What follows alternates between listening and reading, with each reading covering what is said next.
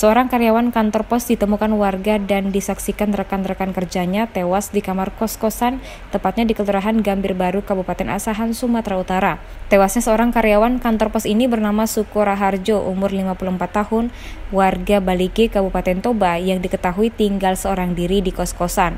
Penemuan jenazah korban berawal saat rekan-rekannya ingin mengetahui kabar karena sang korban tidak masuk kerja, serta berulang kali korban dihubungi melalui telepon tapi tidak menjawab. Akhirnya rekan korban pun datang ke kosan korban dan memanggil-manggil korban namun tidak ada jawaban.